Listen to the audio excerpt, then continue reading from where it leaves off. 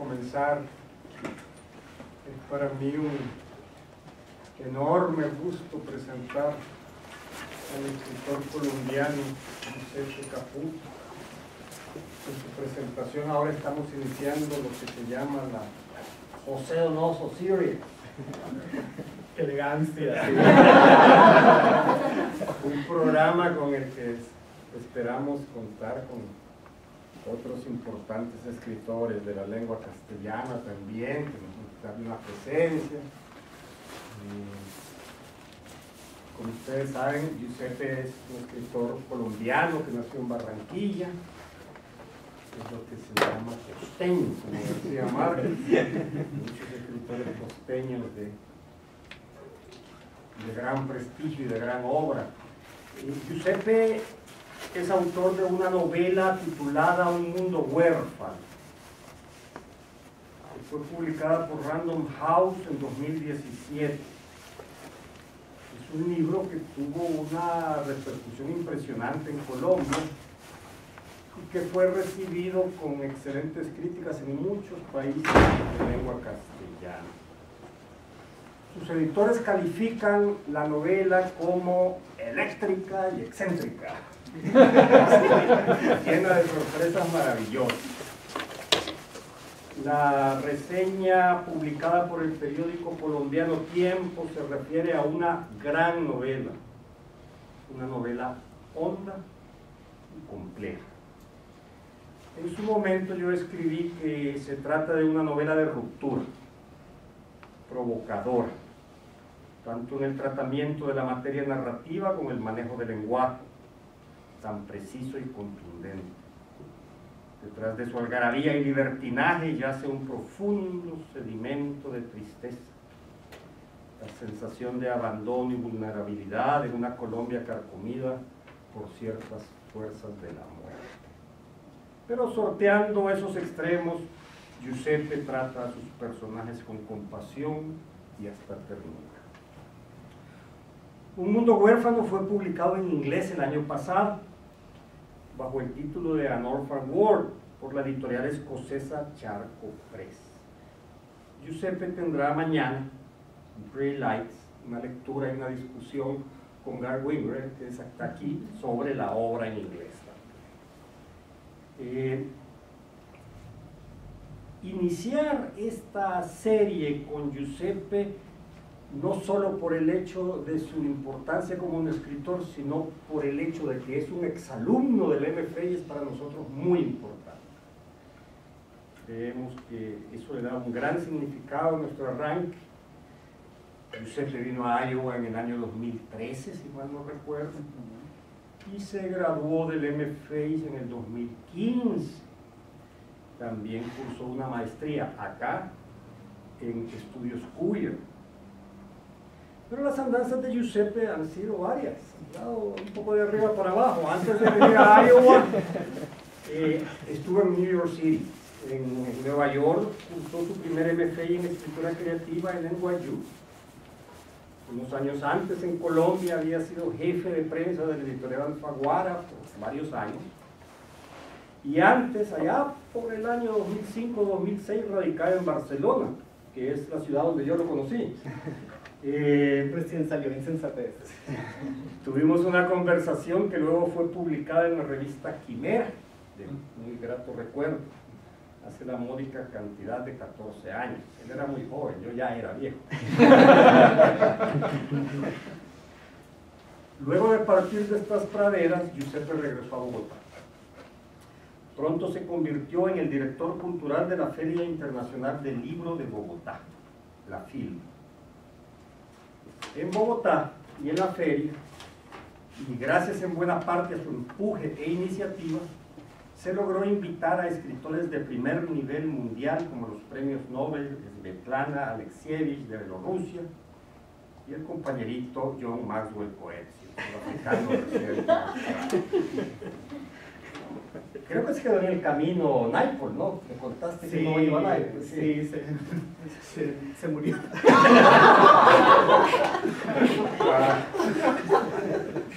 Hace un año más o menos no me equivoco, Giuseppe dejó la Feria del Libro para dedicarse a la creación del programa de escritura creativa del Instituto Caro y Cuervo de Colombia. Y por supuesto para dedicarse a la escritura de su nueva novela. Me he enterado hoy que ya ha sido entregada a los editores y será publicada por Random House al final del verano próximo. Giuseppe es además poeta, con varios libros publicados, en 2017 fue uno de los participantes en el Festival Bogotá 39, que convoca a los más importantes escritores en lengua castellana menores de 40 años. Giuseppe conversará con Cristian de León, digno poeta cubano, heredero de Lezama y Virgilio, miembro de nuestro MFI y a quien ustedes ya conocen. Un aplauso para Giuseppe, por favor.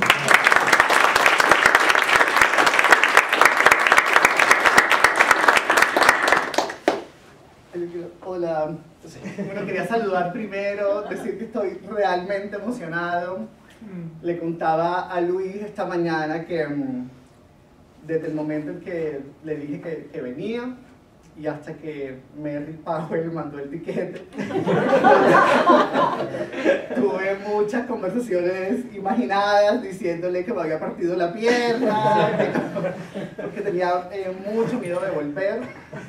Yo recién llegué acá, eh, supe que mi papá se había enfermado y los dos años acá estuvieron signados por la inminencia de que se iba a morir, pero pues era un diagnóstico que no permitía como un cambio de vida, mm. entonces podía morirse o al día siguiente o en 20 años, efectivamente murió estando acá, entonces tenía como mucho pánico de, volver.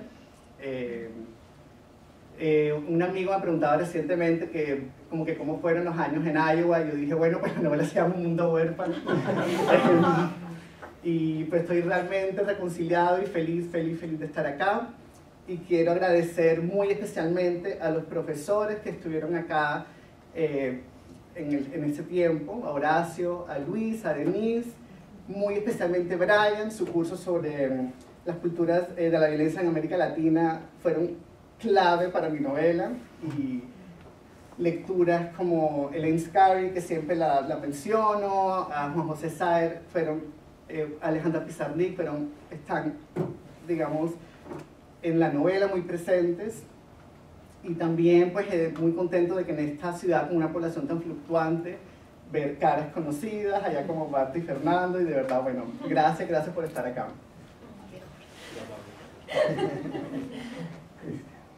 Bueno, pues antes de todo, yo pensaba hacer una pequeña reseña de la novela, como para ir, entrando en calor en, cuestiones literarias. Eh, quería decir que, bueno, con respecto a un mundo huérfano, que me parece que es una exquisita sección de la historia que, que comparten un padre y su hijo queer eh, según se escurren entre los embates de la vida. La carestía dentro de una ciudad muy polarizada según sus estados económicos, la violencia que se permea en dicho sitio, enfatizada de ser contra los homosexuales y transgénero, el temor de perderse al ser amado y más en lo profundo el miedo elemental a la muerte. La novela transcurre casi enteramente en la noche. La oscuridad es el elemento especular de ambientes marcadamente opuestos.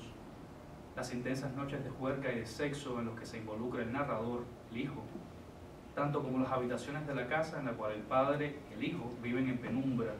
Eso por no poder pagar el, el de la luz, ¿no? Al principio de la novela, todos los personajes que rodean al narrador son hombres, con la distintiva excepción de aquellos transgéneros cuyo sexo no se revela en el momento. El padre, los amigos del bar, Dios, los tantos compañeros sexuales, etc. Las voces femeninas, muy importantes, irrumpen más tarde, trayendo consigo la dulzura de la amistad y el dolor de la pérdida, en algunos casos. El lenguaje se caracteriza por un frescor que emana de la necesidad de renombrar la realidad circunstante el mundo de esta novela se abre a partir de definiciones que asigna a lugares, objetos y conceptos cotidianos. La ciudad se ve convertida así en el bosque eléctrico, ¿no? si imaginamos la ciudad vista en la distancia por todas las luces que lleva. El bar local se denomina el Baboso, el parque temático se nombra la ciudad de Hierro y la calle donde viven, perennemente a oscuras dada la carencia de alumbrado público, naturalmente la calle de las luces es un lenguaje que ofrece al lector la oportunidad de hacer fluir su lectura, responsablemente inclinado hacia el guion y el punto y y hacia las oraciones extensas y los párrafos propiamente de mayor extensión. Temáticamente, el sexo consensuado y el despilfarro de la violencia son sendos impulsos que rompen el reposo de la historia, o por lo menos de esa manera yo lo interpreté. Las horas interminables del protagonista delante de la pantalla, la cual refleja una plataforma de citas, la amplia lista de individuos con los que se conecta en situaciones que no por virtuales dejan de ser sexualmente complejísimas, y la intensa y gráfica experiencia en una sauna gay en la que se contrae sexo con más hombres de lo que posteriormente recuerda son momentos de vital importancia en la trama, puesto que traen consigo otros temas imprescindibles. La búsqueda del afecto en el otro, la empatía hacia el marginalizado a través de la conmovedora historia de un hombre mayor con el que los jóvenes no quieren tener sexo y que espera mirando el reloj a cada tiempo. Y por último, el miedo a la pérdida del padre, algo que está de principio a fin. La violencia rompe la manera de matanza. En la plaza se descubren descuartizados unos cuerpos bajo el letrero, empuñado con sangre, siguen bailando mariposas. Pero ojo, esto se contrapone al remedio que van a practicar los personajes a partir de entonces, luchar por mantener la cohesión y la gentileza, es decir, la amistad como principal arma contra las desavenencias de toda índole un mundo huérfano es, en fin, un libro conmovedor traído a ser con sumo cuidado por Giuseppe Caputo, en el cual se intuyen un gran cariño y una insondable destreza. Yo humildemente aconsejo su lectura. Y me parece que deberíamos abrir entonces a preguntas del público. Bueno, aquí estoy.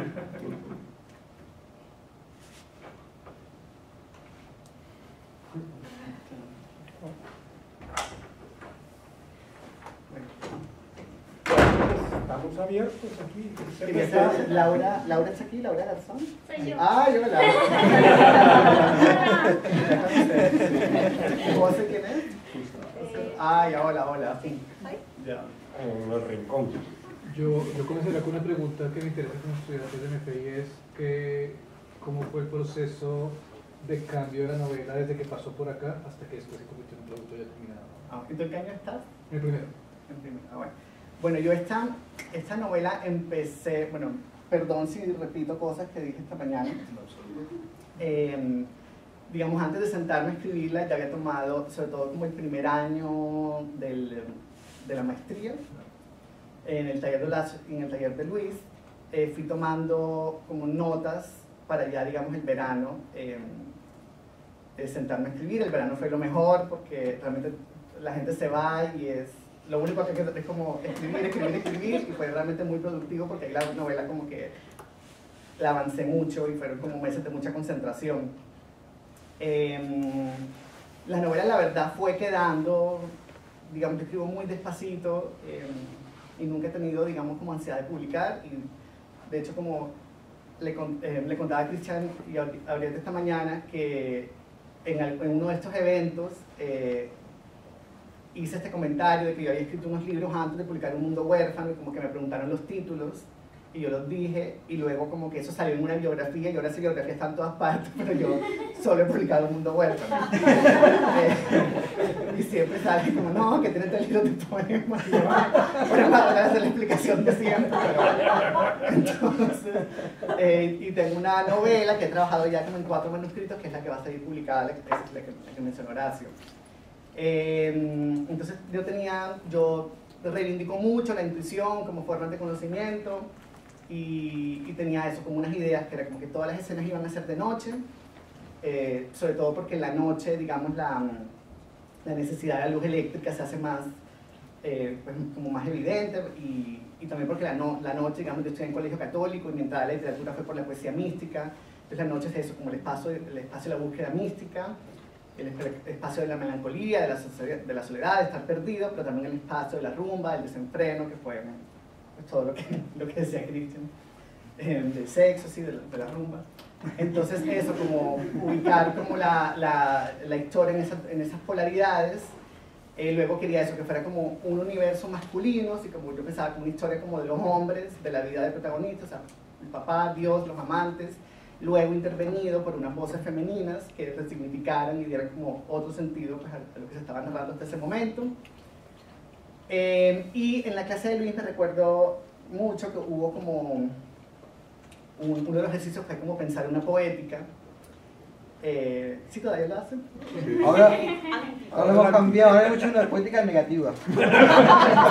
lo que uno no quiere hacer. Exacto. Ay, Eso es lo que han hecho al comienzo del semestre. Sí. Ah, chévere. Sí.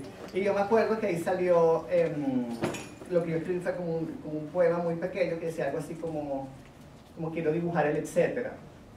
Entonces era como, entonces pensar como las imágenes, el dibujar como escribir como en imágenes y el etcétera, como transformar los puntos suspensivos y lo que se, se tiende a poner en etcétera, eh, escribirlo, sino transformar eso, los puntos suspensivos en, en, texto, en una narración. Y eso también quedó en la clase de Brian eh, con la parte de los crímenes de 2666, que era como que uno leía y era como, bueno, pero esto es una decisión ¿sí? como ética, ética, lo que está haciendo Bolaño, que es como a cada muerto le está dando un espacio, cada muerta es distinta, y pues ese es el... Y, finalmente te compromete éticamente, ¿sí? Con cada una de las muertas, no sé si lo han leído, la parte de los crímenes. Entonces, eso como que estaba dando vueltas y esas fueron como unas decisiones. Eh, y luego sí quería como ser muy reivindicativo de, de, los sentimientos que se pueden llamar positivos, como, como la ternura, ¿sí? porque sí creo que los sentimientos como más, que uno tiende a pensar más como sentimientos negativos, como la envidia, la rabia, los celos, tienen como un prestigio intelectual que otros sentimientos no, no suelen tener, o que se les considera como ñoños, ¿sí? o, como, o, como, o que se ubican como en lo femenino y, y en la estructura, digamos, machista, pues entonces quedan como mal, o sea, como mal. Entonces quería eso, como feminizar a los personajes, porque la, ternura finalmente es algo como que ablanda, es lo que te ablanda, y, al, tú, estar más blando, pues eres más, el mundo entra en ti, así como dice Spinoza, entonces finalmente eso también te hace más penetrable, entonces pues ahí está la ternura como, como entre unos hombres, digamos, ¿sí? que los hacen más blandos, más penetrables, y luego ya las escenas que decía Cristian pues ya está como directamente penetrado. Eh, entonces sí, eran, fueron como esas decisiones. Y luego, ah bueno, y luego la primera escena, eh, digamos, también me gusta como que al hablar de la forma de un libro, pues digamos como que forma y fondo inseparables, entonces al hablar de la forma del libro se termina hablando del contenido. Entonces, para mí finalmente es la historia de cómo eso, un papá y un hijo en todas estas esta serie de orfandades, porque es una orfandad política, económica, religiosa, afectiva, eh, social, cómo se tratan, cómo ellos tratan de darse a sí mismos lo que la sociedad no les está dando, lo que, que son personas solas de Estado, eh, este, y personas que se están tratando de dar un estatus artístico, de vestirse socialmente.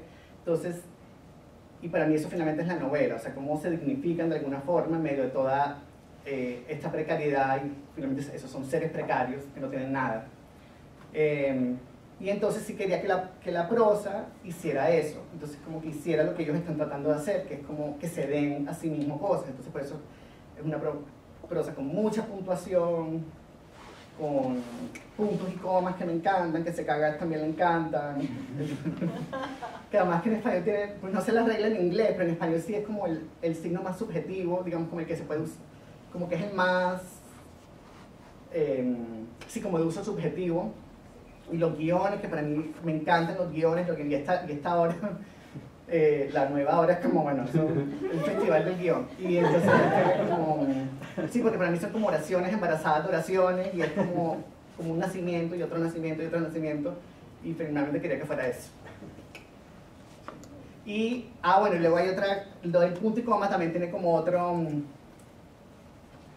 pues como otra historia detrás y es que hay un texto que yo no he podido encontrar, pero es un texto como que eh, la revista El Malpensante de Colombia ha citado mucho, que es un texto de Kurt Vonnegut, porque, o sea, que es un personaje de Kurt Vonnegut que dice eso y se lo han adjudicado a él, digamos, que ya, son, bueno, ya es un problema.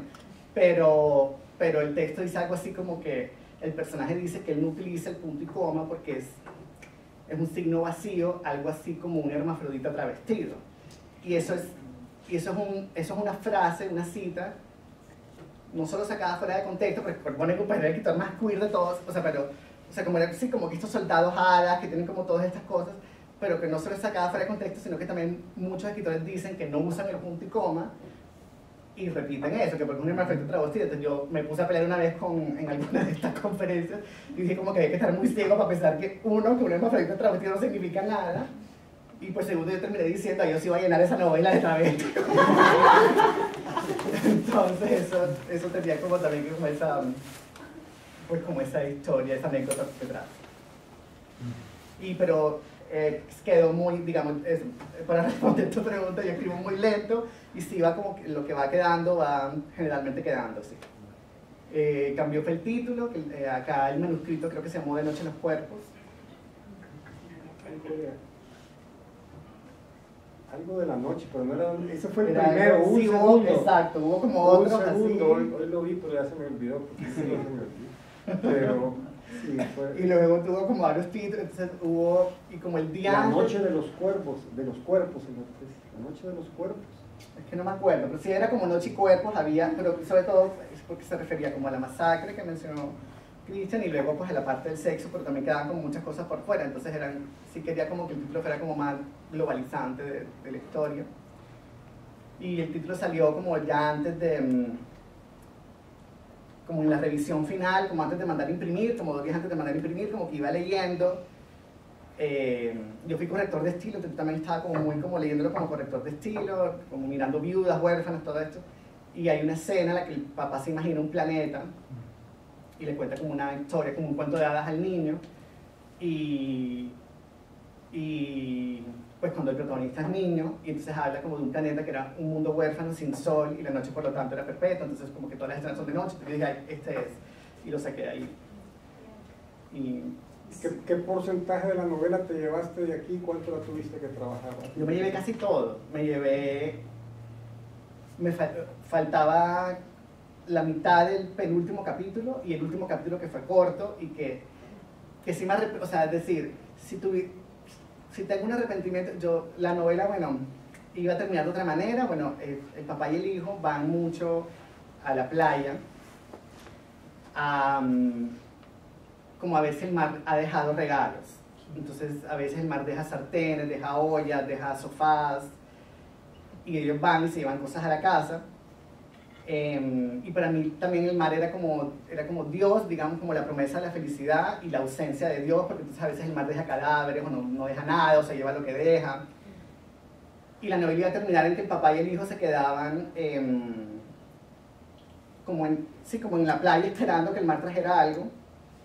Y, pero mi papá se murió y como que entonces fueron como unos meses muy intensos, y, unos meses, unos días muy intensos, y yo como que quedé lleno de eso. Y entonces la novela sí tuvo ese final, digamos, cambió, cambió eso.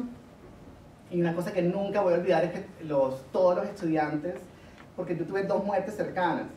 Eh, primero se murió Margie, gran amiga, digamos, vecina de la casa, también fue como una mamá, porque es mayor, en diciembre, y a los pocos meses, em, a los pocos meses no, a, a, los pocos días, yo regresé de algo y fue como, y ahora tu papá le dio esto, yo como que me volví a regresar y todos los compañeros hicieron una vaca para, el pasaje. Yo jamás voy a olvidar eso, entonces también si hay algo como de como de lo colectivo y como de la ayuda colectiva, eh, y como de la vecindad y como de los vecinos, de, entonces quiero leer el libro de Luis, como que, que, también quedó como muy ahí en la novela.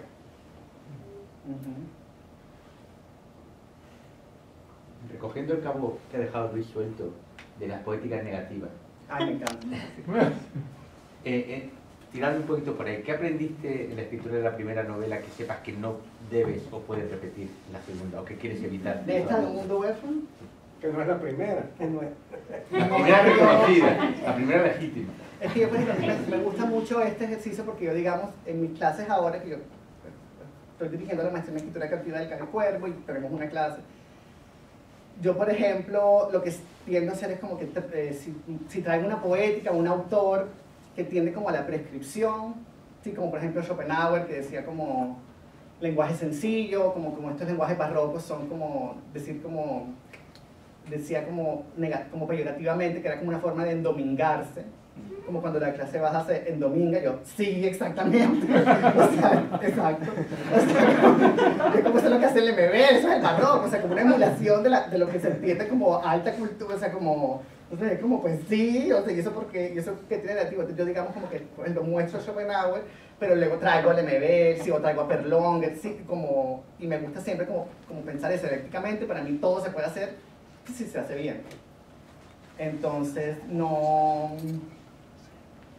no, o sea, no, no, no te diría que no, o sea, yo siento que no hay, hay- no hay que nada, o sea, como, como que todo puede ser, y lo que sí es que sí me gusta, digamos, si bien sí soy muy reivindicativo de la intuición, sí me gusta en un punto pensar la escritura, y sobre todo como dejar en el libro como la metáfora de la, la metáfora del libro o la metáfora. Entonces, por ejemplo, el capítulo de la ruleta, que es, eh, bueno, la novela tiene una na- línea narrativa en presente y una en pasado. Y en ese capítulo de la ruleta, eh, la línea del pasado, el personaje está en un- entra a un sauna gay, pero pues esas palabras, pues, esas son decisiones, como la palabra gay, homosexual, LGBT, no quiero que estén, queer, nada de eso quiero que esté porque también quería como ubicar la novela en un tiempo imaginado, como anterior y posterior a la aparición de todas esas siglas y como entonces esas palabras no están, sin embargo sí se está hablando de eso. Y entonces y en la línea narrativa del presente, eh, él está en un chat eh, de cruising virtual, ¿sí? de, chat de, cruising entre hombres, que fue mi vida nato. o sea que era como, mira, ya me aburrí del chat, ahora voy para Chicago el sábado y me regreso. bueno. Entonces, entonces, pero entonces ahí está lo del etcétera, eh, todo lo de narrar el etcétera, entonces si quiere que fuera un capítulo largo, entonces, pero que dentro del capítulo estén como las claves de cómo puede ser leído, no cómo debe ser leído, sino cómo puede ser leído. Entonces, em, entonces hay una parte que en el chat él está hablando con un extraño, entonces él le dice como, bueno, ¿esto cómo es aquí? Como, y el extraño le dice, bueno, es fácil, si, si te aburres de lo que estás viendo, si te da asco, eh, o si no te interesa, hunde la flecha y pasas al siguiente. Entonces, para mí fue como muy claro que el pacto queda como ahí, es decir, si- si- que si, como, como es un capítulo largo y es casi como la el doble de- del resto de capítulos, y quería que se sintiera largo, entonces pues hay dos opciones, si se lee entero, pues es un capítulo sobre el exceso, la acumulación, y como que va, así va llegando como un increyendo, y si no, pues es un, te lo puedes ir saltando algunos fragmentos, corriendo el riesgo, digamos, de que, o sea, es decir, que si te corriendo el riesgo de que de pronto un fragmento que te saltas quizás te hablara particularmente a ti, o quizás te activara o, o- o hablara directamente a tu deseo. Porque también es eso, porque el deseo es deseo de todo y deseo de nada, entonces eh, finalmente ese capítulo es como una exploración afectiva del deseo, como una etnografía del deseo y como de un catálogo de emociones alrededor del sexo, porque el sexo a veces también tiene como que el lugar común de sexo que siempre es un lugar de placer y pues ojalá fuera solo eso, pero a veces es un lugar de aburrimiento, de, de asco, como de, ay, yo por qué me metí en esto, yo, sí, como sáquenme de aquí, o como de, sí, como que uno pasa por muchas emociones en el sexo, no solamente placer. Entonces, todo eso también está en el capítulo. Entonces, eh, y me acuerdo mucho que Brian hablábamos de la pornografía en alguna de las clases, y como ante la pregunta que el, el Mis clases son fabulosas. Si quieren hablar de pornografía. Pero era como la pregunta, de o sea, finalmente era como que se, o sea, como la, me, me pensaba como de la pregunta si es un capítulo no pornográfico, porque yo pensaba que lo es y no lo es en el sentido, mejor dicho, habría que pensar cómo se entiende la pornografía, si se entiende como algo hecho con el fin de excitar o con el, con el fin de reproducir el acto sexual sin ninguna otra intención, entonces sería como, o sea, primero sería como identificar qué se entiende por pornografía y a partir de ahí como analizarlo fragmento por fragmento. Yo diría, hay unos capítulos pornográficos en el sentido de que si hay unos capítulos que sí te pueden excitar y otros que al contrario te van a apagar completamente. Entonces hay una parte en que el personaje, por ejemplo, el extraño le pregunta como, si estuviéramos juntos, ¿qué haríamos? Entonces él ya se enfrenta como con la precariedad del lenguaje para hablar de sexo. Entonces es como que tiene que pensar en las palabras que usaría. Entonces si digo verga, si digo polla, entonces polla tiene como una connotación, verga tiene otra, pene pues es nada que ver porque es como muy biológica. Como qué palabra uso, y entonces ahí finalmente estás como pues ante el problema de quizás lo que diga lo va, va, en lugar de excitarlo, lo va a apagar. Entonces, también esa es como la atención del capítulo. Pero, y por otro, y por último, eh, hay una, un libro de, de, Daniel Penal que se llama como una novela, que él transforma estas, estas ideas de los mandamientos y de, las pre, de, de, lo prescriptivo, lo transforma en autorizaciones. Entonces él habla de, lo, de las 10 autorizaciones del lector, ¿sí? como los 10 mandamientos del lector, y uno de esos, uno de esos derechos es a saltarse páginas. Entonces yo pensaba como, bueno, voy a utilizar esto pensando en el lector, de que el lector pueda saltarse fragmentos, si le parece muy largo, pero bueno, me di cuenta que los lectores en Colombia son muy juiciosos, y eso me decían como, oye, pero qué cosa tan larga. y yo, oh, oh, entonces yo, wow, qué juicioso. Y luego como, oh, eh, o, que me, o luego un muchacho que no sé cómo llegué, no sé si soy gay, pero yo soy la base buenísimo. Bueno, entonces, como ese capítulo me gusta porque generó como muchas, como muchas emociones. Bueno, y una cosa también que no se hablaba es que dentro del capítulo no solamente está pasando todo esto, sino también que se contrapone a escenas o pasajes de él con el papá. Sí. ¿no? Y se, va, se van intercalando las cuestiones, y entonces ahí también se ahonda un poco en la relación de él con el padre, del narrador con el padre, y, y, a veces como que la lectura tan rápida porque los, los, los, fragmentos se van haciendo cada vez más cortos, más relampagueantes, entonces hay un momento en que tú empiezas como a verlo todo al mismo tiempo hasta que el narrador mismo ve o piensa ver a su papá dentro de la sauna. Ajá. Entonces nos puedes hablar sobre eso porque en sí suena como un riesgo, ¿no? Un riesgo gigantesco como escritor, pero, pero se ve muy bien. Bueno, para resumir la pregunta de, de Cristian, bueno, el, el día de la presentación, de la primera presentación en Bogotá, estaba mi mamá, mi hermano, todas mis tías, Marian porque Horacio lo conoce, me dice como, oye, yo tengo una sensación de que, de que tú querías tener sexo con tu papá. Y yo, y yo quedé como, no, bueno, entonces en ese capítulo, eh, en, en, el presente, él está cuidando al papá que está, está deprimido, pero pues eso tampoco está patologizado, o sea, no, esas palabras no están. Eh, y está, está deprimido, entonces está tratando como de darle la compota, o sea, y como pues el papá muy infantilizado, y también esta es una de las orfandades, que el hijo a muy temprana edad es el papá de su papá y él no tiene pues, a nadie que lo cuida. Eh, y para mí, digamos, claro, entonces en ciertos momentos, digamos, el papá se, él piensa que se le aparece en el sábado en un momento porque y también la sexualidad del papá está, pues, digamos que la homosexualidad del hijo no está problematizada para nada, pero la sexualidad del papá tampoco se conoce. Y en un momento sí parece que ve al papá, pero luego, en realidad yo siento que el papá está es en la escena de un señor muy mayor en un columpio que está esperando como a que alguien lo toque. Y ahí es cuando, es como el único momento en la novela que entra como el tiempo... Eh, eh, ¿cómo se dice? Como el, el, tiempo lineal, digamos, porque está, claro, como primero son personajes que no trabajan, entonces es un tiempo más enrarecido porque es todo de noche, no trabajan, entonces no tienen nada, no, no hay nada que les discipline el tiempo, no tienen reuniones a las que ir, no tienen como trabajos a los que ir, entonces el tiempo siempre está como muy enrarecido, pero ese es el único momento que entra como el reloj a la novela, y es porque ya esta persona mayor lleva demasiado tiempo esperando a que lo toque. Entonces la, la, novela dice algo así como que es como la fiesta de cumpleaños a la que nadie va. Eh, entonces de, ahí, de, alguna forma también entra el papá y también está eh, pues en, en, todo este tema, estos juegos de la pantalla, de pensé que era él, pensé que era yo, entra todo el tema del espejo y pues finalmente de Narciso y es finalmente el deseo de él es verse y está, está buscando miradas para poder verse y cuando hace las capturas de pantalla y hace pantallazos él quiere estudiarse en sus gestos, estudiarse en las caras que él hace y estudiarse en las caras que los demás hacen mirándolo a él. Entonces él está eso, como en una búsqueda en realidad de sí mismo y, y, y el papá también entra, eh, también hablábamos esta mañana de como que tres libros claves para mí antes, digamos, y que releí antes de sentarme a escribir, bueno, bueno obras en las que hay padre e hijo sin madre, Entonces es Frankenstein, por supuesto, Pinocho y, el, y Dédalo e Ícaro. Entonces, eh, esos tres libros están de diferentes formas en la novela.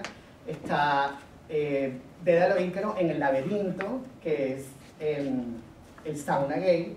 Y entonces, pues la pregunta es como, bueno, ¿quién es el minotauro? ¿Qué es el minotauro? Entonces es, pues también como la amenaza, ahí hay como unas ciertas amenazas, que puede ser la, la violencia homofóbica dentro de la propia escena gay, sí, o puede ser la enfermedad, o sea, como que ahí el minotauro está como, como más borroso, digamos. Eh, luego está Frankenstein, y, que, mm, que está, está sobre todo como en estos híbridos, o como en estos, eh, sí, como collages, que son la ciudad misma, que es como una, es una mezcla de muchas ciudades que digamos que está inspirada en Barranquilla, pero en realidad tiene como fragmentos de muchas ciudades, y que eso también se coloca, digamos, cuando yo tenía estas conversaciones, como en la vida real, digamos, en los chats, con otras personas que estaban en otras ciudades, también eran como paisajes que entraban a mi cuarto de Iowa. Entonces era como estos paisajes nevados y de repente era como alguien que estaba en Australia y era como muéstrame, sí, entonces se va formando eso como un espacio más híbrido. Y lo de Pinocho es sobre todo la parte en la que el monstruo marino eh, se, lo, se, se lo traga y, y, y él está como en toda esta oscuridad que sería la ciudad y él ve una luz y la luz es Gepetto, es el papá y él carga al papá porque el papá está muy débil y lo carga y lo lleva en los hombros y dice como yo te cargaré, bueno, que eso también está conectado con la Neida que dice yo te cargaré padre y yo te llevaré en mis hombros y tu carga no me pesará. Entonces eso estaba pues ahí presente. No me acuerdo cuál había sido la pregunta. Eh, ahora hace un rato hablabas del tiempo como enrarecido, como no lineal, como extraño que pasa en la mayoría de novelas. Cuando, cuando, cuando llega, me parece que hay un cambio en el momento en que empiezan a construir la ciudad de hierro, empiezan Ajá. cierta placidez, como que se acaba un poco la crisis, o de cierta forma tiene trabajo, tiene dinero. Pareciera que en adelante el tiempo ya deja de estar enrarecido y se vuelve un poco más lineal. Claro, porque ya encuentran un trabajo sobre todo. Y de hecho, y para mí ahora, digamos, ahora es que como que cada vez estoy como más, no sé si sea correcto decir esto, pero no, los identity politics cada vez me tienen como más harto. Eh, pero digamos que lo queer para mí ya pasa más como por los espacios y por el tiempo y finalmente la relación con los demás eh, y pues con el espacio, entonces digamos ahí ya ellos empiezan a trabajar. Ahora, esa aparente, esa aparente calma económica que llega es muy rápidamente pues se trunca porque al Ben se le ocurre que bueno, yo voy a o sea, los ponen a gritar, eh, digamos ellos encuentran una- un trabajo en una casa del terror y ahí digamos como que en esa gritería, em, eso, o sea, el, el trabajo de ellos es gritar. Entonces ahí digamos que escuchamos tanto al papá como al hijo gritar lo que no han gritado en toda la novela. Entonces, entonces el papá lo escuchamos por primera vez fiando, que es como, pero déme por favor, o sea, como que tengo un hijo, como, sí, como todo lo que no, lo que no, los hemos oído a lo largo de la novela, ellos finalmente como que lo sueltan. Y el hijo se refiere a la masacre y dice, pero nosotros no les hicimos nada porque están haciendo esto. Pero entonces el dueño de, de la casa finalmente dice, esto se puede grabar, entonces ahí entra como la tecnología como a desplazarlos. Entonces por eso yo quería que los echaran, que finalmente los echan, pero entonces que después de echarlos eh, se quedaran en eso, como en el mar esperando algo. Yo quería preguntar con respecto a lo del lector, porque había pensar en qué lector está aproximándose a eso. Es un texto que tiene muchas capas y no todo el mundo va a entender todo lo cual está bien. Pero ¿qué lector tenías en mente en el momento? ¿O tenías algún lector en mente en el momento de construir el No, como un lector imaginario, medio abstracto, pero si uno le pone cara, No, que eso pero no está quiero bueno. decir, como, ¿qué pensabas que tendría que tener como herramientas para texto? ¿Podría ya cogerlo de, de la nada o sería un Yo creo que es, igual sí, o sea, lo que pasa es que igual yo no, igual finalmente una cosa es lo que yo diga, Sí. yo puedo ser sabes que puedo pararme acá y decir lo que se, o sea, y luego otra cosa es la novela también, mejor dicho, finalmente, si el lector no, si un lector no conoce la obra de Daniel Penac y se leerá todo el libro o no, o será más libre incluso y leerá como unas partes, o sea, pero no, no sé si, la- no sé si la pregunta sea como si, si requiere un lector exigente, ¿no? No, más bien, o sea, porque lo hemos discutido en los talleres y es Sí. considerar hacia qué, hacia dónde estamos guiando nuestra obra, o sea, quién, quién imaginamos que podría estar leyendo esto, qué, qué Es que- tiene en su ya. mente, qué referencias tiene, que no haya leído absolutamente todo, pero yo sé que mi libro lo estoy pensando para una audiencia que al menos va a tener ciertas herramientas para aproximarse a él o que le va a resonar. O sea, si mi audiencia no es católica va a estar muy difícil que entiendan muchas de las cosas del libro y está, pues es válido, puede que simplemente las desechen, pero como que mi lector imaginario tiene unas características y era lo que decíamos, ¿qué, qué hacemos nosotros en torno a ese lector imaginario? ¿Qué nos gusta, qué desechamos? Que es un poco también lo de la poética. ¿Sabes qué? Es que para mí fue muy importante como que el lector fuera abstracto, porque si yo, le, si yo pienso en algo muy específicamente, siento que entraría muy fácilmente en una respuesta a. Es decir, por ejemplo, a mí un machiruro de estos colombianos salió a decirme como que, que por qué el personaje tenía que ser amanerado y por qué tenía que ser promiscuo si esos eran como los lugares comunes o como los clichés del gay. Y le dije, perdona, o sea, eh,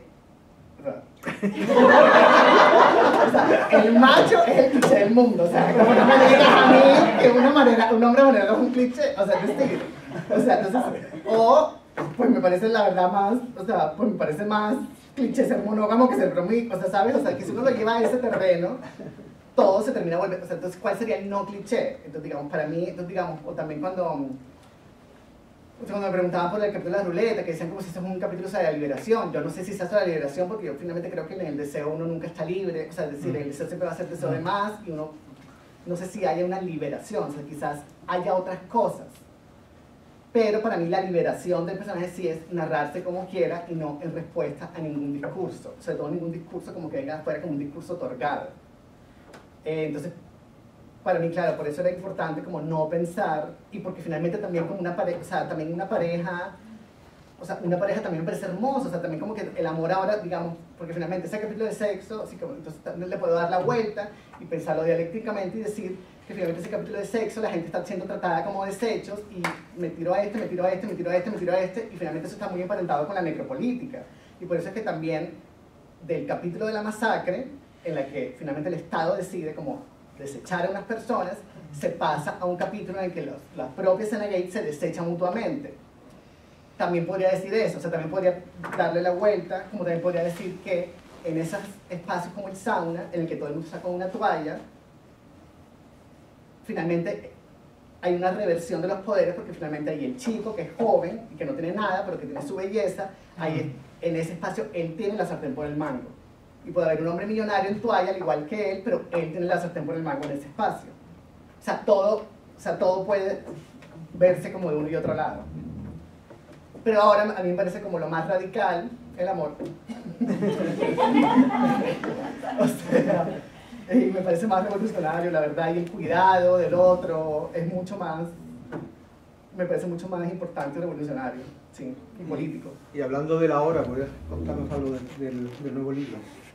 ¿Perdón? Y hablando de ahora, Ah, si sí. podías contarnos algo del libro que acabas de, de entregar. Sí. Eh, bueno, el nuevo libro todavía no he armado un discurso al respecto. Esta es la primera pregunta. Pero bueno, es el de- comienzo del discurso. el nuevo libro es. em, todavía no tiene un título, pero digamos, el, lo, para no entregarlo como sin como para que el manuscrito no dijera sin título, que me parecía deprimente, lo, lo puse, le puse el epígrafe, el epígrafe, un epígrafe de Jorge Eduardo Egilson, poeta peruano, que lo amo, no sé si lo han leído, también místico, tiene este libro, La noche oscura del cuerpo, como en, en diálogo con la noche oscura del alma, de San Juan, y, y es el, el, el, el epígrafe dice, sé perfectamente que mi casa es una estrella que se llama vida. Entonces, el título que le puse es, mi casa es una estrella que se llama vida. Eh, una mi, eh, eh, mi mamá me dijo, no quiero herirte, pero qué cosa tan cursi. Y yo dije como, primero no va a ser el título y segundo, no sé, se acaban de morir 500 millones de animales en Australia, importa, no, está como, no sé, como, como esta cosa cursi, como, la verdad eso no me importa, o sea, no, estoy muy relajado con eso. Pero bueno, pero no, o sea, pero igual no ser el título porque a mí mismo me cuesta recordarme, o sea, como que me cuesta recordar que la estrella es una cuesta. Pero bueno, ahí va. Y es de- no tiene nada que ver las novelas, pero de alguna forma sí es una novela especular en el sentido de esta, un mundo huérfano, son todas las escenas de noche y termina en un amanecer y con un epígrafe de Alta Merini que, que es para el papá que dice, eh, yo adoro la noche y las estrellas, pero tú eres el canto de mi amanecer. Esta novela empieza con un amanecer y es, digamos, la mitología o la cosmología que el personaje, que el protagonista, va haciendo alrededor de su mundo más cercano. Entonces, empieza contando de em, un momento cuando yo estaba eh, niño y eh, se despertó y pues dormía con la mamá y la mamá no estaba y el sol iba apareciendo y de repente la mamá se fue asomando por la puerta y como que le hace un como equipar al sol con la mamá, como con la cara de la mamá, y entonces el sol es la madre, entonces hablan, y entonces el sol es la madre y los rayos son las lágrimas de la madre, y luego la luna es él que refleja la tristeza de la madre, y ahí va formando como una mitología propia, digamos, y va contando a partir de, mm, de una foto que tiene de la mamá en el vidrio, la mamá está, la mamá, algo pasó con la mamá, no se sabe qué es, y está esperando a que la mamá regrese, y pues ya lleva demasiado tiempo esperando. Y alrededor de, esa, de ese sol, digamos, del vidrio, que es la madre, eh, empieza a contar el mundo alrededor. Entonces está al frente, hay una obra que, que lleva en construcción toda la vida, o sea, Colombia. que es como, lleva como, entonces ya es como, bueno, y esto sí, entonces cambian los planos y vuelven, no, y tumbaron esto, y no, que vuelvan las grúas otra vez, como que lleva toda la vida en construcción y hay como una cercanía con los obreros y como que se insultan, se gritan, bueno, como esa cosa barranquera que me encanta, que es como esa porosidad entre lo- el, el exterior y el interior y como esos diálogos con los vecinos como a gritos, que yo me chiflo con eso. Y luego está una vecina al lado, eh, al este, del lado de la vida, que se llama Luz Bella, que está viendo una telenovela y se le pasa, está como enganchadísima con una telenovela. Al otro lado está una, un hijo cuidando a su mamá agónica. Arriba está una vecina que se llama Madre, le dice Madrecita y está inspirada en Barriga de Trapo, no sé si los colombianos se acuerdan de eso, que es una mujer que hace unos años, en los noventas, se inventó que tenía, que había quedado embarazada de ocho, de, de octillizos. Entonces sale como una, entonces salió, entonces hicieron una teletón para recaudar plata para, para estos ocho niños y luego fue como no será pura almohada. Entonces, pues como que se hace con toda esta plata. Bueno. No, porque además era, claro, era como una barriga descomunal, claro. Trapomán quedó el esposo. El ma- no, el machetrapo, claro. Macho Porque entonces, trapo, ah, ya. claro, porque entonces en esta cosa, en esta cosa barranquillera era como, wow, qué macho es, ocho, como ocho niños. Y luego fue como, ahora es machetrapo. Y ahora ellos son como unos personajes del carnaval de Barranquilla, bueno, como toda esta cosa folclórica que me encanta. Y entonces es eso, es una, es una mujer que lleva embarazada ya como años, también como que y dice como, ay, esto no, nada que nace, nada que nace, nada que nace, y es como, cada vez la barriga tiene como unas formas diferentes. Y abajo está el portero del edificio, que es como, como que el personaje dice que, que cuida sus flores y vigila todo lo demás. Entonces el portero siempre les está como cobrando el arriendo y nadie nunca tiene plata, entonces la pelotera y como los voy a sacar de acá y le tiran como un hueco, o sea, bueno, como todas estas cosas, como estas, estas peleas. Y, y finalmente es como la, pues eso, es- o sea, el problema es eso, si la mamá va a volver o no, y entonces está la, la, la amiga, la de la telenovela, como que le dice, mira, ya no volvió, olvídate de eso, y él se le está acabando la plata y tiene que decidir qué hace porque ya la plata, entonces ya entra como, ya la vida se le vuelve como una cuenta regresiva. Entonces eso, como pensar como el lugar de la madre y el lugar del dinero. Y, y hay una gran celebración como de la cultura popular latinoamericana que está en esa telenovela que está viendo, que pues yo voy también como escribiendo la trama de la telenovela, pero también es como la experiencia colectiva de ver la telenovela y como de comentarle, como será que la, la villana mata a esta, será que la villana es esta, será que como esto. Y luego está la, la, la mujer agónica, eh, se está, mm, se está, eh, estaba oyendo una radio y se la pasa oyendo baladas. Y me, como que me inventó una cantante que se llama La Dolorida y yo, y yo escribo como las baladas también. Entonces, y bueno, eso es como amo la cultura popular latinoamericana y por eso una serie como La Casa de las Flores, la primera temporada la, la amé porque, porque se ha hecho muchas veces como, ¿sabes? Como que a veces sí, sí, irónicamente, como, ay, sí, me gusta Juan Gabriel, es como, déjalo, no lo digas con ironía, sea, Juan Gabriel es espectacular, ¿de qué hablas? ¿sí?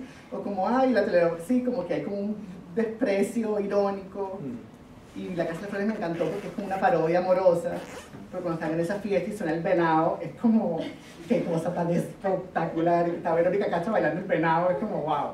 Entonces, sí, eso, pues eso, ya les conté todo y...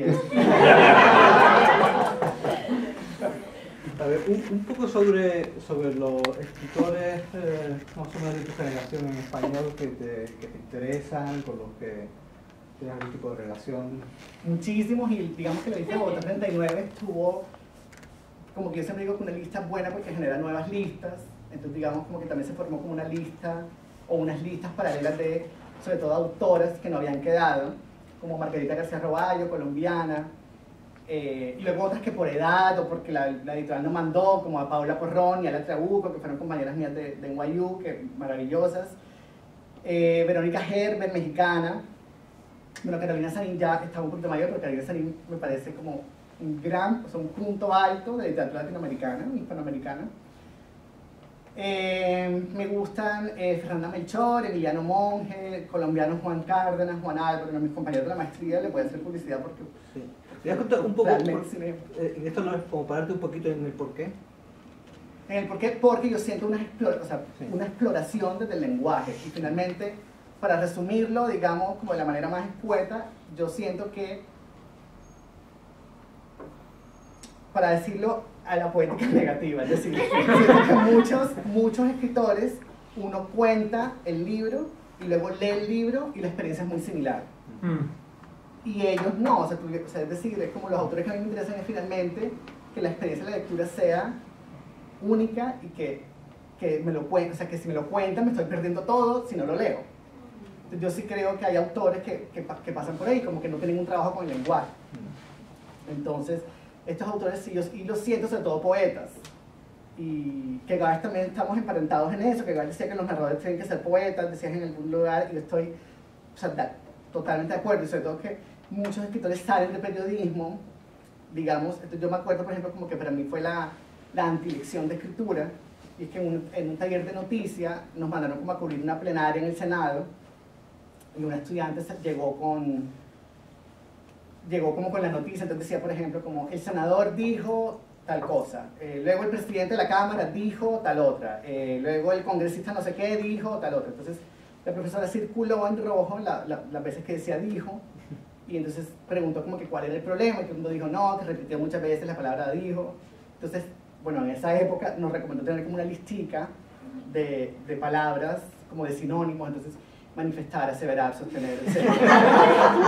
Entonces uno como con la listica y luego era como, pues, obviamente como para mí la antilección, porque uno no es lo mismo decir dijo que manifestar, o dijo que, que aseverar, o que expresar, y luego, si uno la cambia como muy, como indiscriminadamente, así como dijo, son dos sílabas, sí, es grave, dos sílabas, eh, y luego aseveró, son cuatro sílabas, aguda, entonces es como se rompe la música, entonces es como ni es como no es ni exacto ni preciso con, con lo que se quiere decir y además de todo se descuida la música. Entonces como que para mí eso, es lo que quiero decir, que son personas que piensan la escritura y, y, trabajan con el lenguaje, tienen como un trabajo con el lenguaje.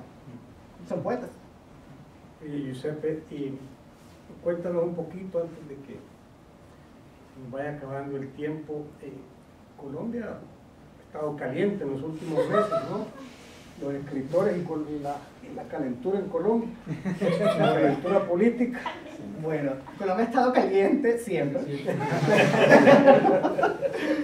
Eh, yo llegué en el 2015 y fue un momento de gran esperanza, porque fue la, en septiembre del 2015 eh, fue el anuncio del proceso de paz. Y fue un momento realmente que yo dije, yo no quiero estar en ningún otro lugar del mundo, sino aquí, y hoy sigo pensando lo mismo. Eh, el proceso de paz, como saben, eh, el presidente Santos eh, convocó un plebiscito y ganó el no, y quienes lideraron el no, que es el Partido del Centro Democrático, el uribismo, ¿sí? liderado por Álvaro Uribe Vélez, que es un criminal, eh, reconocieron todas las mentiras que los diferentes estratos dijeron para que el no pasara. Entonces en cada estrato dijeron unas mentiras que provocó que la gente rechazara el acuerdo. Unos meses antes de la fir- del, del plebiscito se había aprobado el matrimonio igualitario y juntaron el miedo a que Colombia se volviera Venezuela, ¿sí? Y con el matrimonio igualitario y se inventaron el concepto del castrochavismo homosexual. Y la gente votó, o sea, votó en contra de eso, que da risa, pero realmente, o sea, es una decisión que le ha costado la vida a mucha gente y en un momento de mucha esperanza se fue, pues, se fue para el carajo. Luego, de, eso fue un momento como muy polarizado y luego el año pasado eh, fueron las elecciones presidenciales y a segunda vuelta quedaron Gustavo Petro e Iván Duque, que es una persona sin ningún tipo de experiencia, eh, puesta por Álvaro Uribe Vélez. Eh, el partido de, de, Gustavo Petro es la Colombia Humana y hubo un momento en que realmente pareció cuando se le juntaron el Partido Verde, Mocus, como personalidades como Antanas Mocus, Ingrid Betancourt, que hubo un momento que pareció que Gustavo Petro iba a quedar. Y finalmente, obviamente tiene muchos matices, pero finalmente la votación era el presidente que quiere hacerle cambios sustanciales al proceso de paz, que era Duque, y el cambio sobre todo que quieren hacer es a la, a la JEP, a la Jurisdicción Especial para la Paz, eh, porque están muchos militares y políticos comprometidos, si eso queda, y luego Gustavo Petro, que al ser un líder de izquierda, también lo volvieron a relacionar con lo que está pasando en Venezuela, pero pues como son países que tienen historias muy distintas, y, el, y digamos, el problema en Colombia ha sido la derecha, la izquierda nunca estaba en poder, y por el componente de la guerrilla, la izquierda ha sido muy satanizada y mucha gente piensa que la izquierda es igual a las bombas que ponen las FARC. Entonces, eso, todo eso fue compaginando y finalmente para mí era un tema de... O sea, obviamente son muchos temas, pero finalmente era Duque está por el fracking, así como extractivismo, antiacuerdo de paz, y pues, y, pues Petro estaba sobre todo eh, mucha gente decía como es que, es que ninguno de los dos me representa y empezaron, sobre todo muchos escritores, a insistir en el voto en blanco, que el voto en blanco en realidad le convenía a Duque. Entonces, a mí me molestó mucho porque yo digo, mira, al menos vi que prefieres que gane Duque, que gane Petro, y no te hagas ese pajazo de prefiero el voto en blanco, porque eso es mentira. O sea, finalmente tú sabes que el voto en blanco beneficia a Duque. Y por lo tanto, eh, a, la, a, la, no implementación del acuerdo de paz. Y... Eh, y entonces la gente decía, es que Gustavo Petro no me representa. Y yo decía, pero es que mira a quiénes representa. Representa a las negritudes, representa a los indígenas, a los estudiantes, a las mujeres, ¿sí? Toda la comunidad LGBT está con él, entonces también es como, eso es muy claro también, ya tienes que escoger entre estas dos opciones, ¿sí? No estás escogiendo un champú, o sea, estás escogiendo un presidente, no es, entonces no, lo llevas a la lógica del consumismo, es que a mí no me gusta. O sea, piénsalo como colectivamente. Y entonces, hablábamos esta, esta mañana que a nivel de escritura, digamos, si bien sí hay muchos ejemplos de autores cuya inclinación política y estética está como muy separada, como Celine, como eh, Gustavo Petro, eh, Jorge Luis Borges, que sea, sí, como que Borges tonteó con la dictadura, pero pues estéticamente no tiene nada que ver con eso. Sí creo que en Colombia se quedó muy claro lo que veníamos hablando de los autores que finalmente votaron en blanco por Duque, que para mí son unas estéticas que son como nada, o sea, realmente no hay una propuesta, y autores que votamos por Petro y como que hicimos mucha campaña a Petro, que sí siento que hay unas exploraciones estéticas. Y sí creo que eso quedó como muy, como muy claro el panorama y como muy... Eh, sí. Y ahora, eh, pues recientemente el 21 de noviembre eh, empezó el paro nacional y yo he estado muy activo en Facebook y pues en el paro. Eh, ha sido eh, unas marchas, eh, obviamente con unos días terribles y como siempre pasa, dependiendo de los estratos y de los barrios, ha habido como unos, unos momentos terribles, pero ante todo me pareció como han sido unas marchas combativas, celebratorias, muy emocionantes y también eso me hace, no me hace querer estar en ningún otro lugar. Sí, no sé cómo se ha visto desde acá. Quería decir una cosa chiquita frente a la pregunta de Luis, que no sé si tú estás de acuerdo, pero me parece que frente a estos autores que están en este lado de, bueno, no vamos a hacer esta tibieza de la mitad, sino vamos a tomar un rol, eh, ha habido un compromiso, no a través necesariamente como de representarnos en la obra, pero sí de ser voceros de unas posturas, sí. que yo creo que tiene una fuerza en este momento que quizá yo no había visto, igual yo soy muy joven, pero yo no había visto con ese mismo compromiso en mucho tiempo, como el de decir, no sé, pienso en Gloria, pienso en el programa que tiene podcast, entonces es como, bueno, vamos a educar en feminismo, ¿qué es esto? Si yo no lo sé, lo investigo, tengo una persona que va a conversar conmigo en el programa, eh, está, voy a publicar una columna como Carolina Zanini evaluando unos problemas, o sea, creo que los que estaban en, este, esta torre de marfil, pongámoslo como en esos términos, muy Vallejo, han ido bajándose un poco, es como, bueno, no podemos quedarnos acá encerrados y si algo tenemos como conocimiento pues tiene que servir de algo más,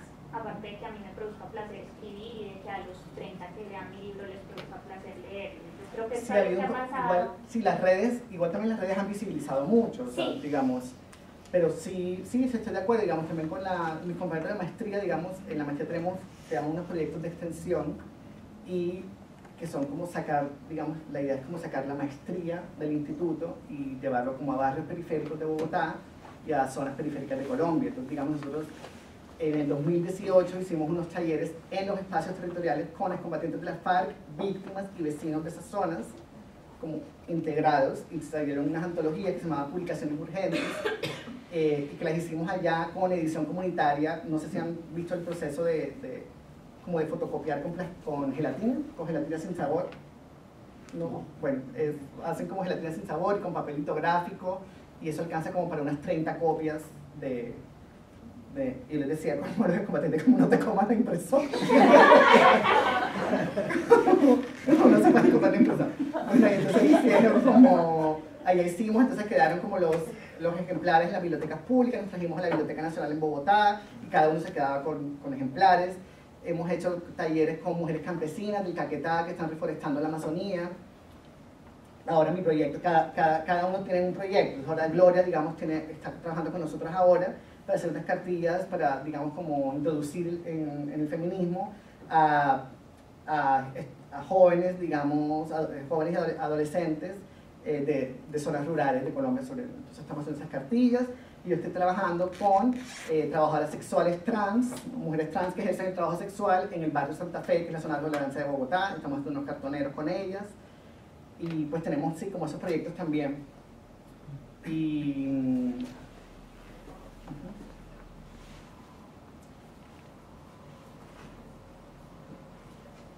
No sé hasta qué, cuánto tiempo tenemos. Creo que como, creo como 10 minutos, una cosa así. Otra pregunta. Yo quiero saber, es una, la novela es una novela muy arriesgada en varios sentidos, no solamente en la representación del sexo, yo creo que la relación con el papá también es una relación muy arriesgada que no se ve mucho en la literatura. Eh, ¿Cómo fue marcar el libro?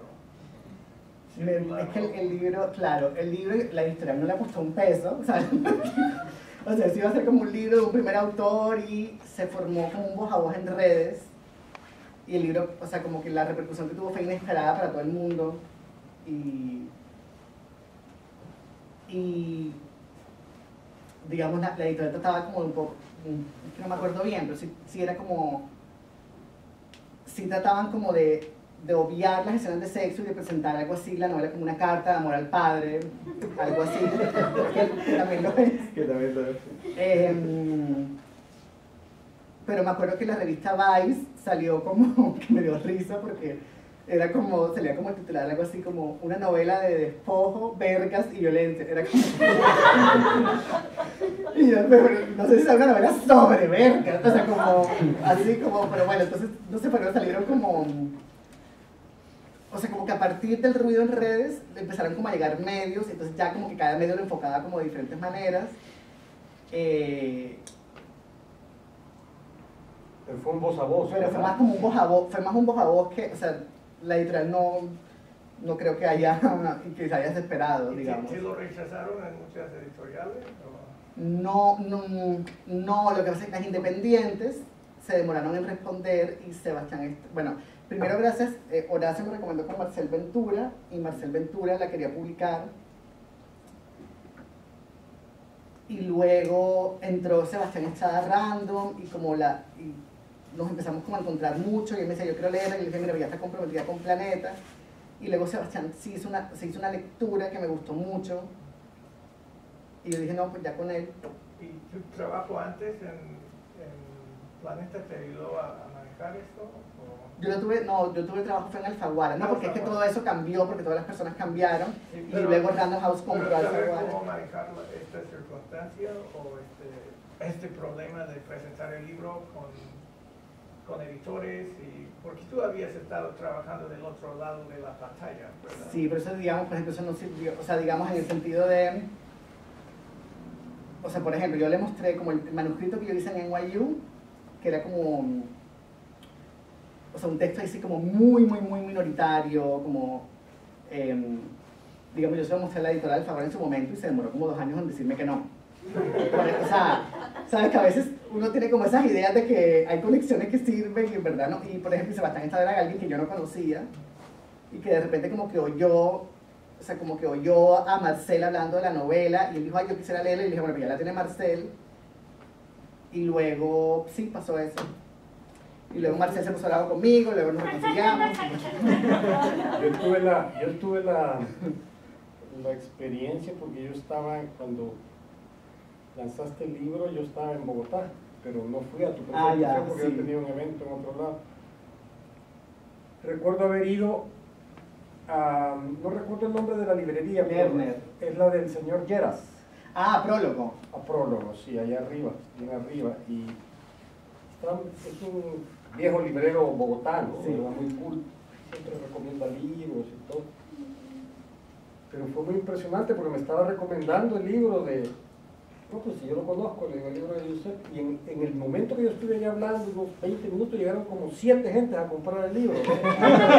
fue como, fue una cosa muy extraña, ¿no? Ah, Sí, fue muy, Sí, fue un voz a voz. un voz a voz muy fuerte. ¿no? Y luego, y eso, pues yo también, sí, o sea, es como, por supuesto, es un estar bienvenido y es algo, o sea, que agradezco y, y que valoro y no, sí, como que no va a ser tan ridículo decir, ay, estoy harto de hablar de esa novela, o sea, jamás. Como que, así sea, me ponen play y vuelvo a echar el mismo cuento, pero lo daré porque sí, es como, para mí es estar agradecido con lo que pasó. Y luego hay gente que quería como ponerme presión y como que más maliciosamente como, ay, tu segunda novela, entonces qué, no sé qué, yo, ¿qué de qué? O sea, yo no, no sé, o sea, como que la vida tiene tantas ansiedades y tantas cosas que yo no creo que la literatura se me vuelva un espacio de ansiedad. Entonces yo eso lo voy a proteger siempre y la literatura es mi- el espacio de mi, de mi felicidad y de mi libertad y eso siempre lo voy a proteger. Entonces, em, sí, o sea, luego todo eso es como una, una exterioridad que por supuesto cuando uno ha publicado, uno como que desea y como que se, se o como que se, se pone ansioso con eso, como sobre todo con la publicación, pero digamos yo sí nunca he tenido esa, esa ansiedad de publicar. Yo digamos, yo escribí cuatro libros que yo no publiqué. Entonces yo no, entonces eso yo también estaba como más tranquilo con eso. Y luego y con lo que fue pasando fue por supuesto como pues, una gran alegría. Sí. Y esos libros se van a quedar ahí sin publicar para siempre. Pues, pues yo creo, o sea, si me caso de pronto y, y me muero el viudo, de pronto lo... Así como con Polanco. En una entrevista, Guillermo del Toro dice que para cada película que saca, tiene 3, 4, 5, 6 que, que tiene completamente programados y sabe exactamente con los guiones y toda la programación de filmarlas, sino que se van a filmar, pues ahí se queda. Sí, Es un poco el, yo no creo que sea un mal camino dejarlos. Sí, o sea, no, es que además, digamos, y con, digamos, y por ejemplo, en otros países, que, que acá es diferente, pero en nuestros países que uno, digamos, a mí que me fue bien, pues uno no vive, con- uno no vive de eso. O sea, con todo y que me fue bien, digamos, como en los términos, digamos, de allá fue bien, pero, pero eso uno no vive de eso, entonces finalmente como uno no vive de eso y como uno no vive de, entre más libros saquen, más plata recibo, porque eso no es así, pues entonces yo lo hago con toda la calma del mundo y pues porque finalmente no pasa por la plata eso. O sea, entonces es eso, es algo como que yo protejo mucho y, y, que no me interesa ni como acumular, como acumular publicaciones, digamos, a veces me escriben como de revistas y yo, no, porque yo estoy como enfocado en, como en la nueva novela, entonces yo, digamos, y ahora yo, o sea, ahora ven- vendrá como todo el proceso de revisión y eso, pero voy a estar como muy enfocado en eso y creo que sea como mi concentración. Em, Una última pregunta. Eh, bueno, yo, eh, los, los libros que habías escrito antes eran de poesía, ¿verdad? Eh, tres, tres de poesía y esta novela, que era una novela como, como yo digo, minoritaria. O sea, como radical. O sea, como radical en su... La pregunta es, como poeta, ¿en, en, en qué momento encarás un proyecto que es una novela? ¿Lo decidís de antemano, puedes ser una novela?